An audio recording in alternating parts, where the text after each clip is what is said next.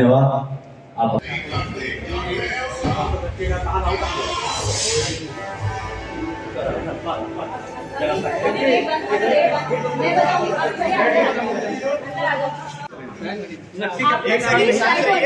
Please please उनको state पे लाना ऑलरेडी बहुत लेट हो चुके हैं।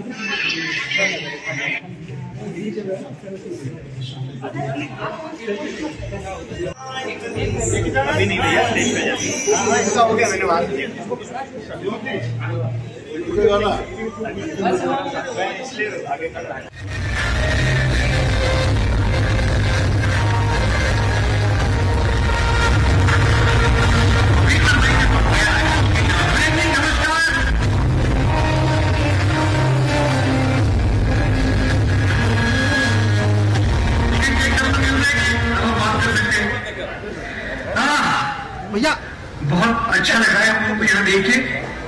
काफ़ी उपस्थिति है गर्मी के मौसम में। कैसे हैं आप लोग? सब बढ़िया? हालचाल अच्छा ये जो इतनी तालियाँ आपने बजाई, बहुत अच्छे से मेरा स्वागत किया। मुझे बड़ा अच्छा लगा। लेकिन एक डिस्क्लेमर है, ईमानदारी से। वो डिस्क्लेमर डाल देना मैं ज़रूरी समझता हूँ कि तारीफों के लायक ना शोहरत का हकदार हूँ, सारी बिजली उसकी है। मैं तो केवल तार हूँ।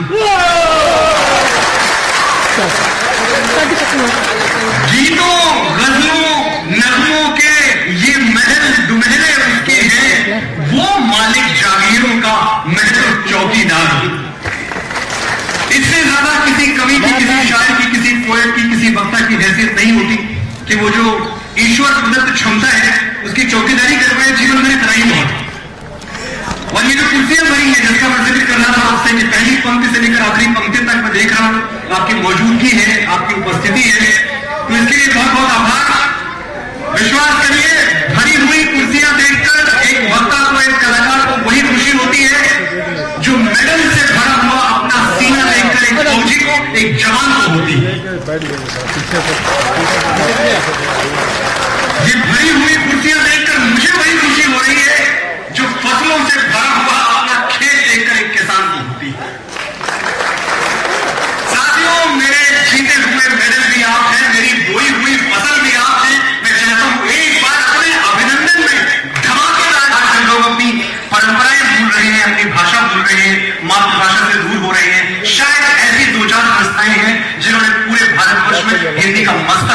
हुआ है।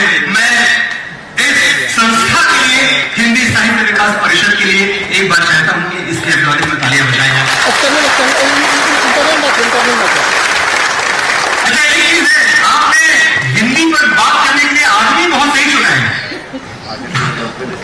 आपने जो मुझे बुलाया, मेरे साथी और मेरी टीम और मेरा परिवार जानता है कि मैं अमेरिका में होता हूँ तब भी दाल भात खा रहा होता हूँ कहीं मिल जाए खाने को दाल चावल और जब मैं लंदन में होता हूँ तब भी हिंदी बोल रहा हूँ। मेरे मैनेजर यहाँ बैठे हुए मुझे हमेशा कहते हैं कि सर आज आप यूके में हो कम से कम यहाँ तो थोड़ा इंग्लिश बोल दो पढ़े लिखे भी हो इंग्लिश कॉन्वेंट से पढ़ाऊँगा वैसे तो मुझे हमेशा कहा जाता है कि थोड़ी तो इंग्लिश बोल दो यहाँ। और मैं कहता हूँ देखो इंग्लिश बोलने का मुझे एतराज़ नहीं है।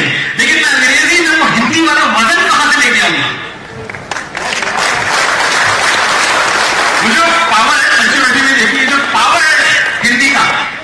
छोटी सी इंफॉर्मेशन आपको इंग्लिश में लेनी हो और हिंदी में देनी हो, बात इतनी बदल जाती है।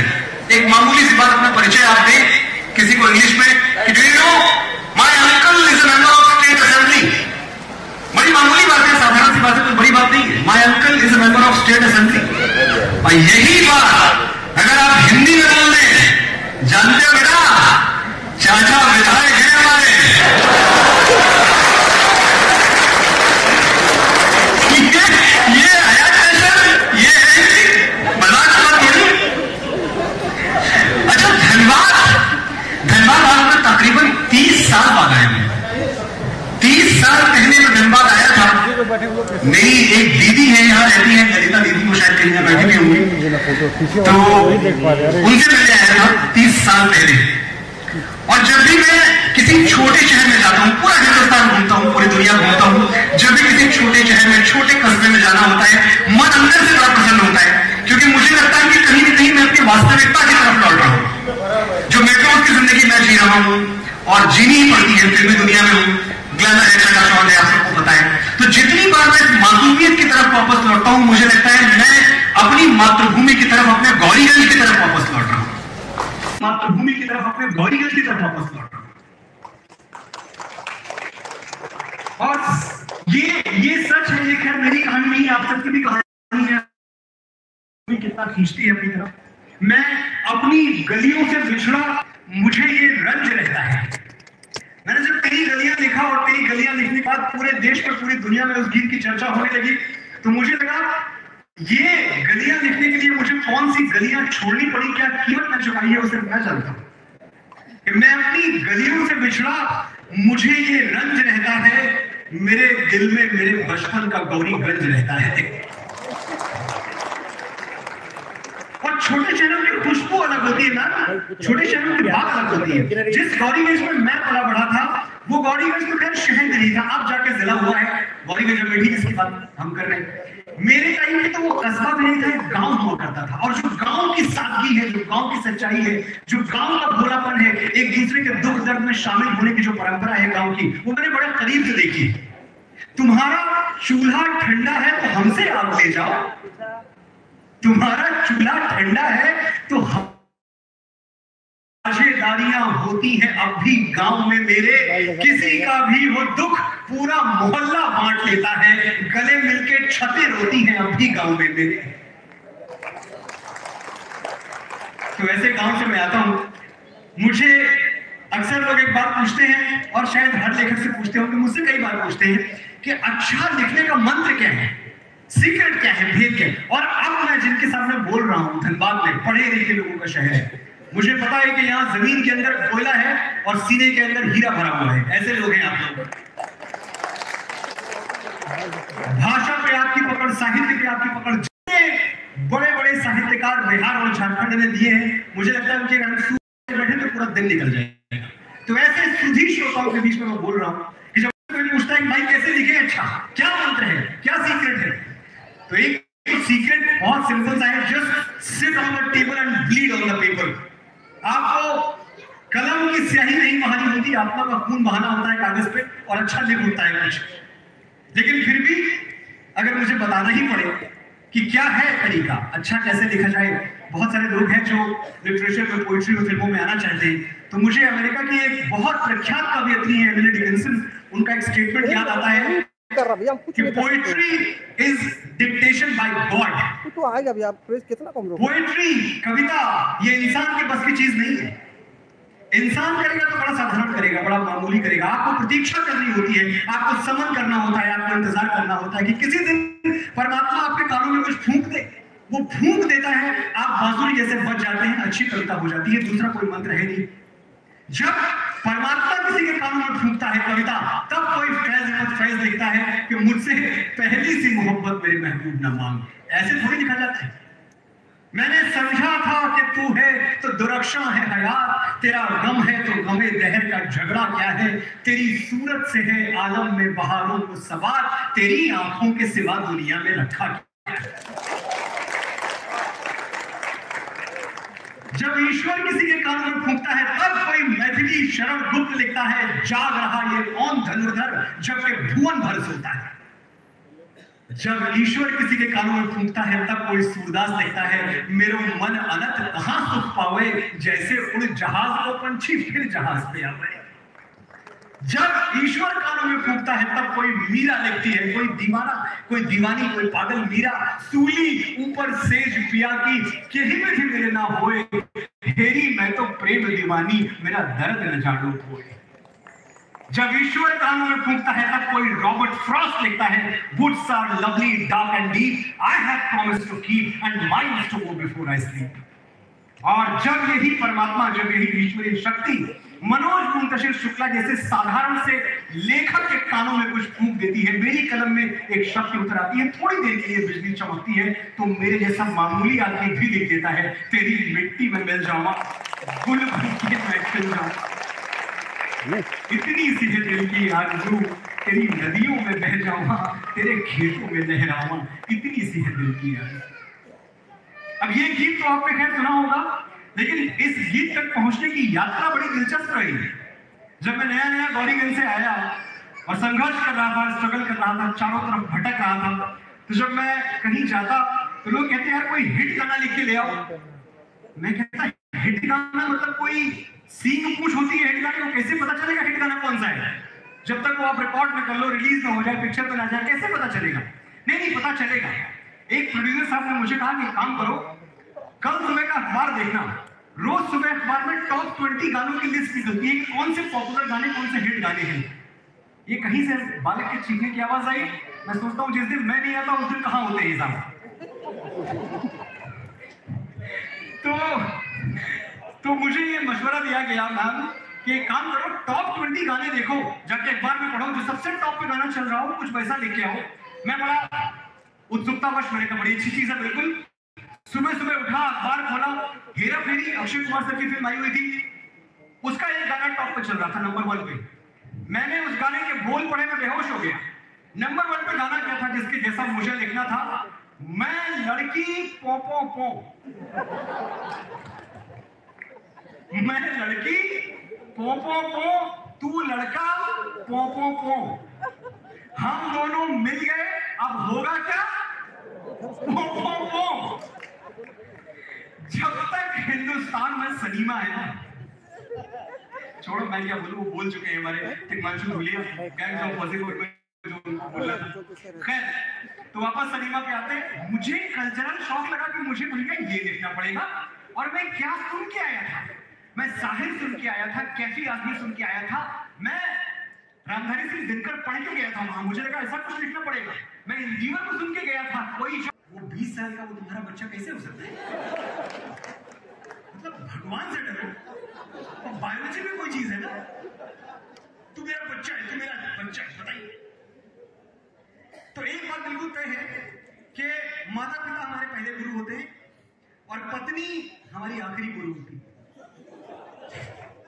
क्योंकि उसके बाद ना किसी ज्ञान की ज़रूरत रह जाती है आपको और ना कोई ज्ञान काम आता है बात निकली है माता पिता की मैंने थोड़ी देर पहले आपसे वादा किया था कि इस बारे में ज़रूर बात करके जाऊँगा। लोग कहते हैं, साथियों, कि सच में बड़ी ताकत होती है, ये तो आपने सुना ही होगा। बहुत सिंपल स्टेटमेंट है, हर कोई कहता है ट्रूथ इज़ वेरी पावरफुल सच में बड़ी ताकत होती है, और मैं कहता हूँ कि झूठ में बड़ी ताकत होती है, अगर वो झूठ आपकी माँ ने। बोला एक आपको उदाहरण देता हूँ, छोटे से घर में। मेरी माँ प्राइमरी स्कूल में टीचर हुआ करती थी और फादर मेरे फार्मर थे, किसान। कुछ ज़्यादा हमारे पास था नहीं। इतराने के लिए। बड़ा मॉडेस्ट एक हमारा हाउस होल्ड था। लेकिन मेरी माँ की जो बुरी आदत थी, वो ये थी कि जब भी हमारे मोहल्ले की दस बारह महिलाएँ इकट्ठा हो किसी न किसी बहाने से, वो शुरू हो जाएँगी अरे, तुम्हारा टिंकू भी अच्छा है, तुम्हारा रिंकू भी अच्छा है, रामू भी अच्छा है, लेकिन मैं सबसे चकाचक चौचक हमारा मन्नू अच्छा मैं सुनता मैं थोड़ा समझदार था बचपन से ये आठ नौ साल की बात है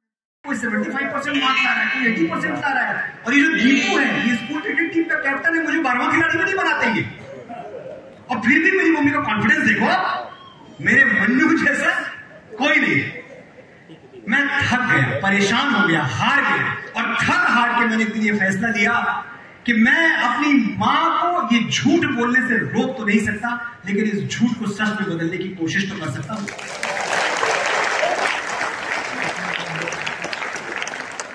तो आज ये जो मनोज मुंतशिर शुक्ला आपके सामने खड़ा है, सच कह रहा हूँ, ये सिर्फ़ अपनी माँ के बोले हुए एक झूठ का नतीजा है और कुछ नहीं। मैं एक आम सा लड़का हूँ, कुछ खास नहीं है मुझमें। मैं एक आम सा लड़का हूँ, कुछ खास नहीं है मुझमें, लेकिन ये बात मेरी माँ को कौन समझाएगी? मेरे माथे पर काजल का टीका यूँ लगाती है जैसे मेरी तारीफ़ यूँ करती है, जैसे मैं किसी मंदिर में रखी हुई मूर्त। स्वस्थ है हाथ उठा के मुझे बताइए। बहुत सारे हाथ उठे, मुझे अच्छा लगा, इतने सारे उठे हुए हाथ देख के।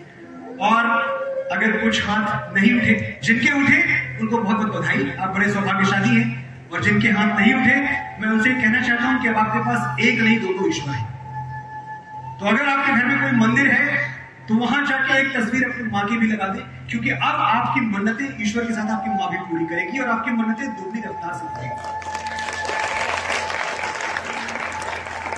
हमारे दौर की त्रासदी यह है कि यहाँ अक्सर ये होता है कि जो चीज़ बैंक में जमा ना होता है, उसको हम धन नहीं मानते। हर चीज़ बैंक में जमा नहीं होती। है लेकिन जो बैंक में जमा ना हो, उसको हम धन नहीं मानते, पैसा नहीं मानते, दौलत नहीं मानते, और जो रिश्ता तर्क की कसौटी पे रैशनैलिटी पे खड़ा ना उतरे, उसको हम रिश्ता नहीं मानते। तो मैं आज धनबाद में खड़ा हुआ हूँ और पूरे आत्मविश्वास के साथ, मैं हमेशा दुनिया में कहता हूँ लोगों की, भाई, मेरी बात दिल से सुनना। आज मैं धनबाद से ये कह रहा हूँ कि दिल से मत सुनना मेरी बात। दिमाग से सुनना। मैं नंबर्स पे, आंकड़ों पे, गिनतियों पे कैलकुलेशंस पे सिद्ध कर सकता हूँ कि माँ के प्यार का मुकाबला दुनिया में किसी का प्यार नहीं कर सकता। सिर्फ़ दो मिनट मुझे ध्यान से सुनिए। और अगर दो मिनट में मैंने सिद्ध नहीं कर दिया तो फिर शायद दोबारा आप मुझे बुलाएँ तो भी मैं ना क्योंकि शर्मिंदा हो जाऊँगा मैं सिद्ध नहीं कर पाया। देखो, मैं मानता हूँ कि दुनिया में कोई रिश्ता छोटा या बड़ा नहीं होता। मैं मानता हूँ कि दुनिया में कोई रिश्ता छोटा या बड़ा नहीं होता, पर मेरी माँ के बराबर कोई और खड़ा नहीं होता। थी तो कवि, राजनेता थे, पर कवि थे। वो पाकिस्तान गए और पाकिस्तान में उन्होंने गवर्नर हाउस में, लाहौर के गवर्नर हाउस में इतना ओजस्वी भाषण दिया कि बहुत देर तक तालियाँ बजती रही। उसके बाद एक प्रेस कॉन्फ्रेंस थी प्रेस कॉन्फ्रेंस में हुआ क्या कि एक महिला पत्रकार ने गुगली फेंक दी अटल जी की तरफ़? क्या बोली वो? अटल जी, आप कुंवारे हैं। मैं आपसे शादी करने के लिए तैयार हूँ। लेकिन एक शर्त है, मुझे मुँह दिखाई में कश्मीर चाहिए। कोई और होता, दुश्मन के इलाके में थे पंडित जी।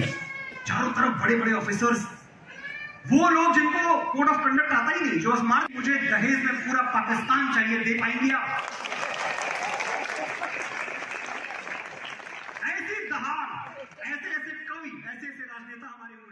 अच्छा, उस अभी तो हमें कर हँसी आ रही है लेकिन आप वो टाइम सोचें कि चारों तरफ़ पाकिस्तान की फौज से घिरे हुए अटल बिहारी वाजपेयी और पाकिस्तान की फौज कौन सी?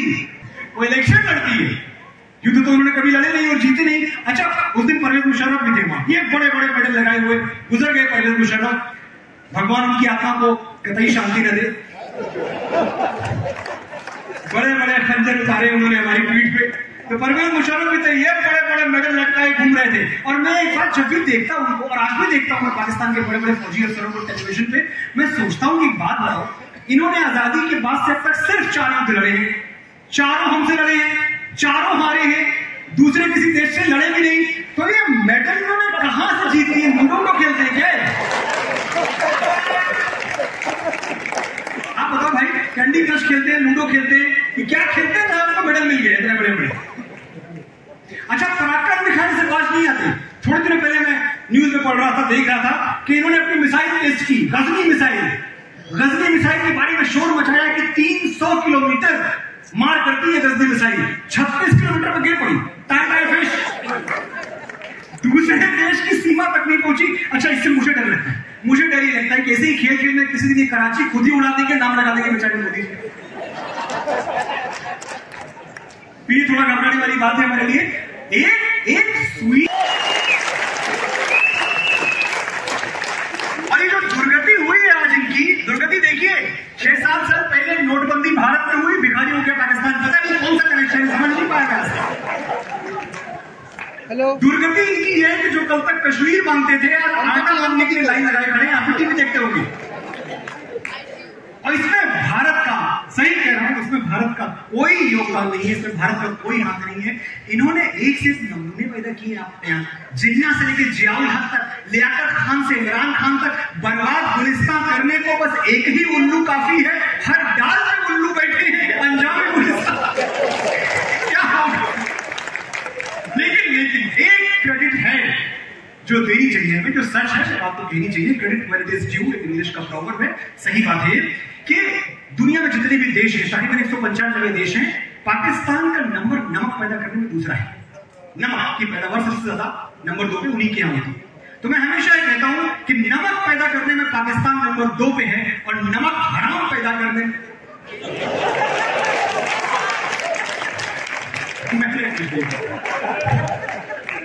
ना ना ना भगत सिंह के वंशज, चंद्रशेखर तिवारी, आज़ाद के वंशज, हम महाराणा प्रताप के वंशज। विश्वास मुझे, निज वाणी का है राजपूत कुल प्राणी का। वो झुक सकता है वीर नहीं, यदि दूध पिया छत्राणी का। हमसे मुकाबला करोगे? हम बिरसा मुंडा के वंशजों से मुकाबला करोगे? हम लोग, ये सच्चाई बता रहा हूँ मैं आपको, क्योंकि हमने साढ़े सात हज़ार वर्ष पहले भगवान श्री राम से देशभक्ति सीखी है। हमने गीता से सीखा है, स्वधर्मे निधनम श्रेया।